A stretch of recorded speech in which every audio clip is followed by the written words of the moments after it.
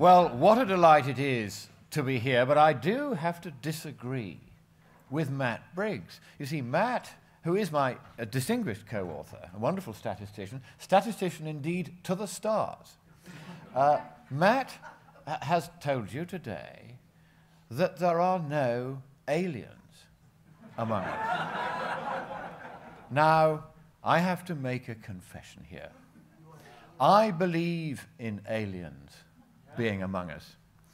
They band themselves into organizations with strange acronymic titles NASA, NOAA, NCDC, GISS, UA, what's it, UEA, EPA.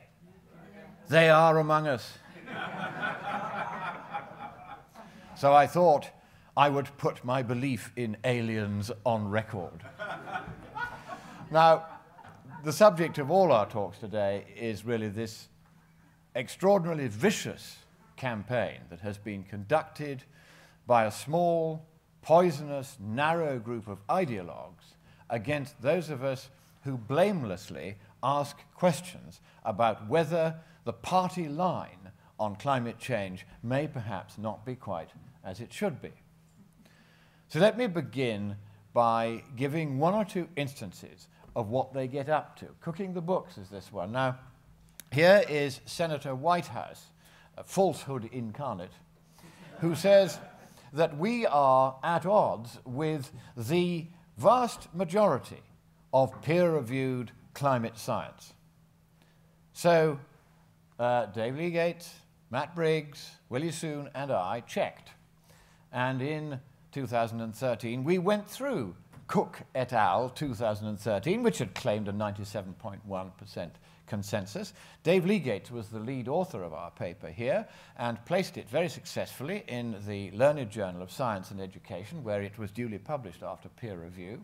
And what we found was that of 11,944 abstracts reviewed by Cook et al., they had themselves in their own data file listing all the 11,944 papers, marked only 64 of them as stating the consensus definition that they used in their paper, which is the scientific consensus that human activity is very likely causing most of the current global warming, anthropogenic global warming, or AGW.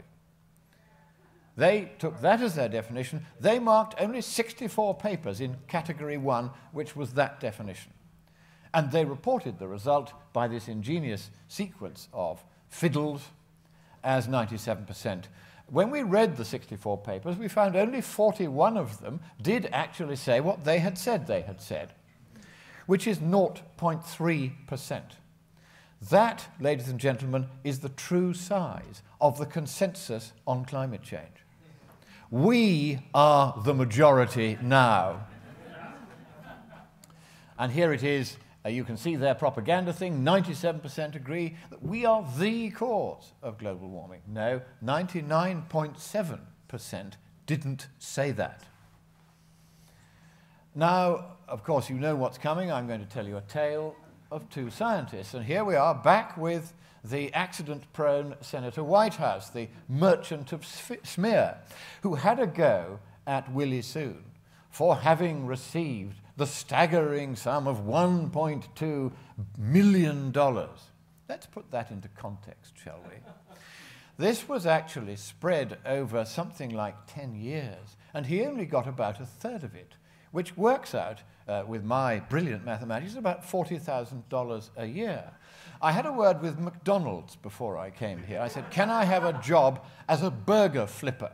I said, I get paid more for doing that than I would for talking about climate change. How much would they pay me? And they said $45,000 a year. So Willie Soon would actually have been better off as a burger flipper than he would doing some of the best and most distinguished solar physics on the planet. So let's put that into context and give him a round of applause.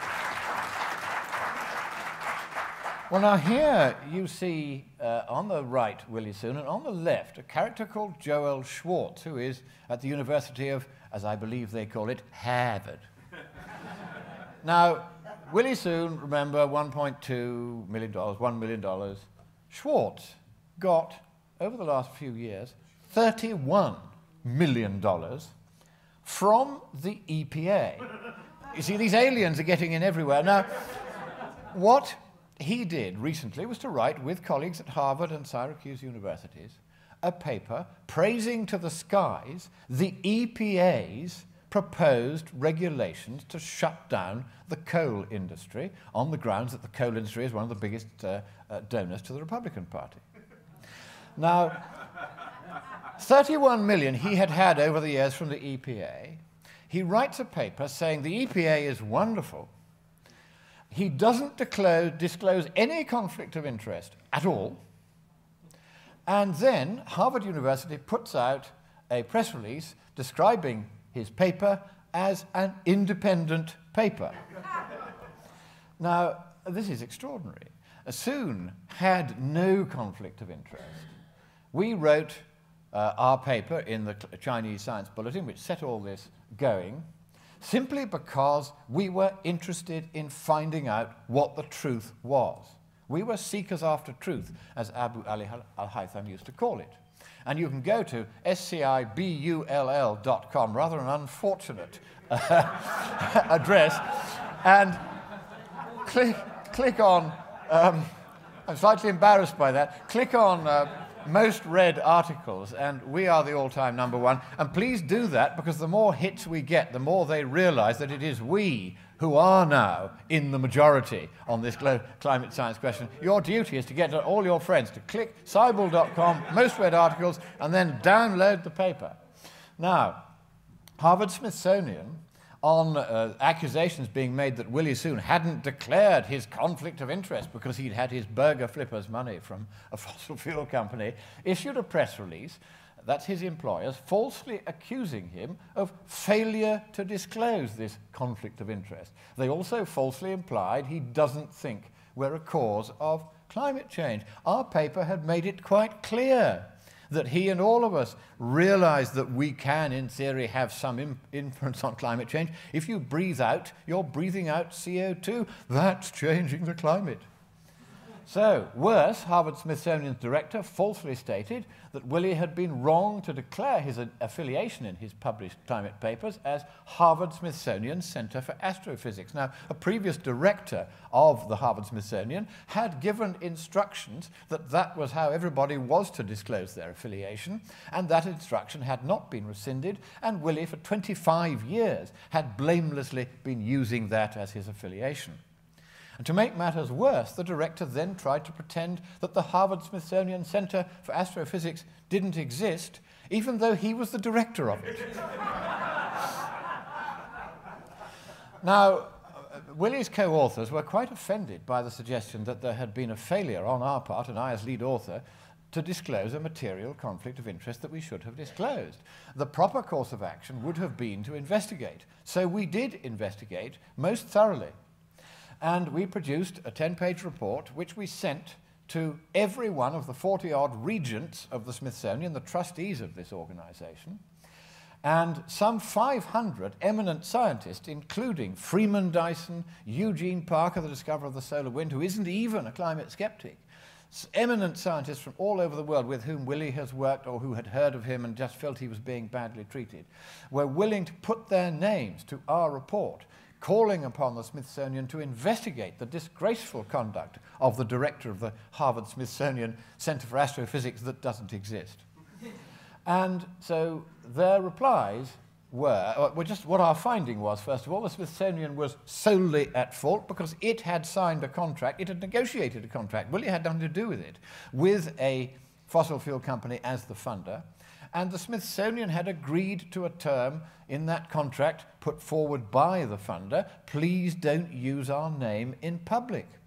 Now, Willie, as an employee of the Smithsonian, was required by contract law and by his duty of care to his employers in negligence law to make sure that he complied with that contract term, whatever he may have thought of it. And he did comply. The fault for any non-disclosure that ought to have been made lies squarely with the Smithsonian and not with Willie Soon. I wanted to make that clear to all of you, just how outrageous the mistreatment of him has been.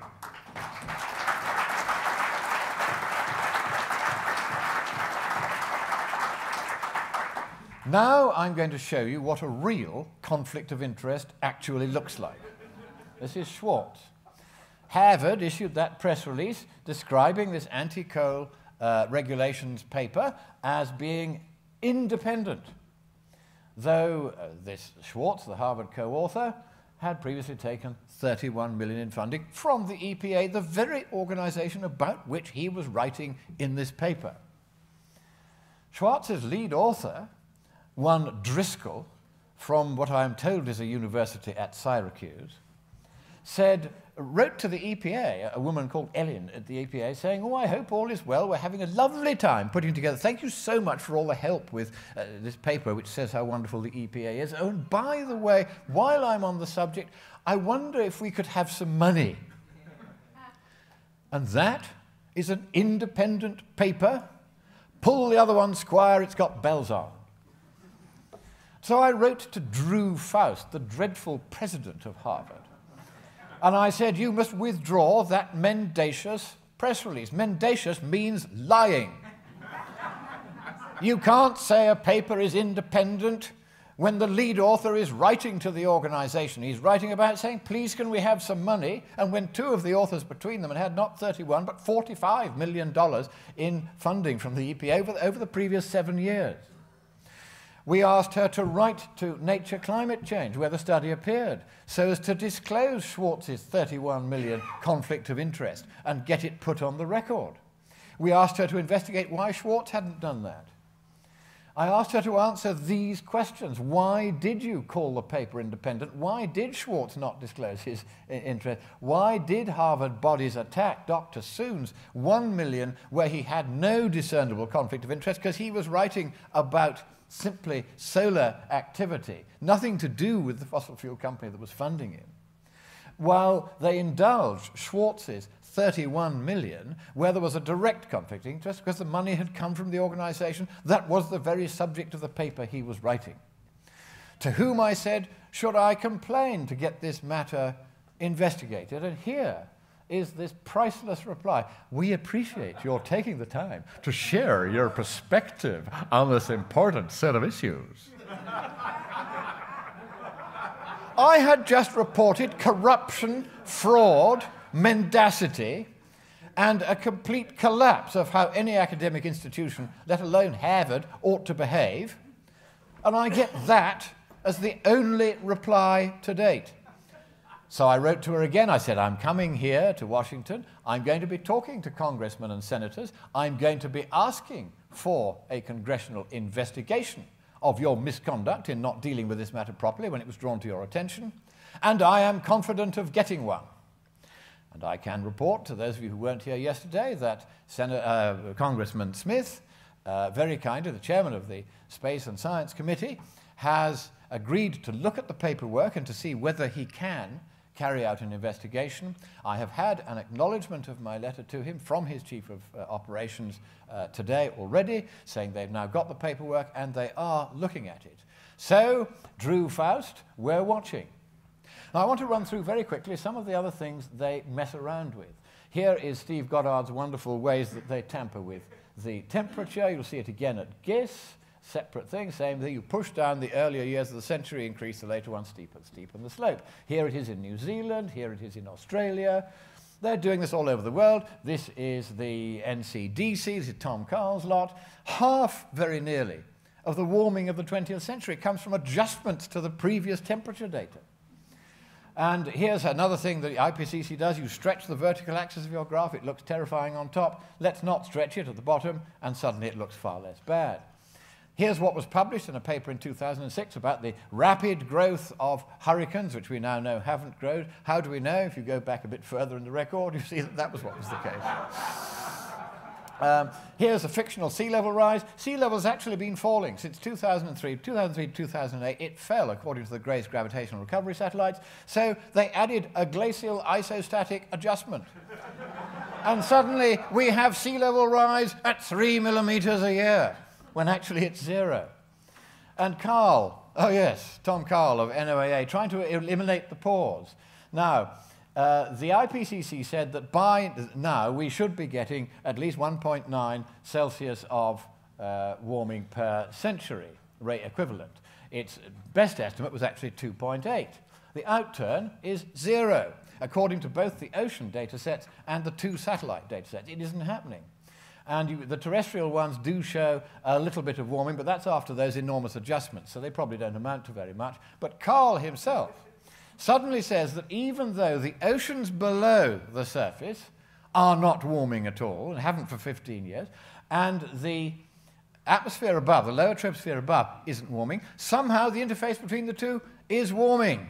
Sir, that is an attempted repeal of the laws of thermodynamics and they, whether you like it or not, are beyond the reach of any human legislature. And science frauds, my goodness, look at this one where five times the IPCC in 1995 said we can't find a human influence. What was printed, the consensus of just one man, whom the bureaucrats got to rewrite it, was that there's now a discernible human influence on, global climate. There wasn't then, there isn't now, they made it up.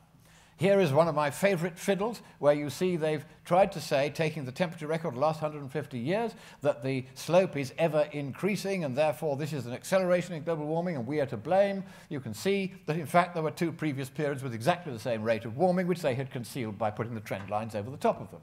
That's the truth. Indeed, if you take a sine wave, which has by definition a zero trend, and apply perfectly correctly calculated trend lines to it, the IPCC can make even a sine wave appear to be on an accelerating trend. They've even used the same colors I have. Then we have the hockey stick, which I'm just going to flick through and you can see these slides. I'm not even going to talk about them. You all know this. But this is an interesting one because there's the hockey stick graph at the bottom. There is the sea level change reconstructed over the past thousand years from a completely separate source, Grinsted et al., 2009. You can see it kind of goes up in the medieval warm period by eight inches, down again by eight inches in the uh, Little Ice Age, and then up to the middle uh, where we are today. But the hockey stick graph doesn't do that. But what does do that is Hubert Lamb's graph from the 1990 IPCC report, showing that there was a medieval warm period. There, I put it to you, is the simplest demonstration that the hockey stick graph is hokey. So what are we going to do about pseudoscience? We are going to make sure that you get on and write letters to the scientific journals, write short contributions, write papers, make sure they hear that there is another side of the case. We are going to do congressional investigations. We've got the contact now, we're going to use it. Judicial climate science inquiry, which Bob Carter mentioned, is devastatingly effective. Anything in the forum of a court where each side can cross examine the other, we can sustain that, they cannot. Report science fraud to the police. If you see them fitting there, tell the police. We've been doing this quietly all over the world. Make sure that if it is an international fraud with several countries involved, you ask the police to send it to Interpol. Interpol have already opened a file on this. Eventually, they're going to snap and say, we can't let this go on. We will prosecute. That's the way to stop this corruption. Private prosecution in England, we're also looking at. And I'm going to finish off, just for a bit of fun, it'll take one second. This is the coat of arms of Harvard the words that they could only understand one letter per page at Harvard, they're still there. but veritas is the word for truth. But we've seen how Harvard and Drew Faust behave. That is what it should look like. and I understand from my friend among the cheerleaders at Harvard that they have a new cheerleader song, and it goes like this Lie, lie, lie, lie, lie, lie, lie, lie, lie, lie, lie, lie, lie, lie, lie, lie, lie. Thank you.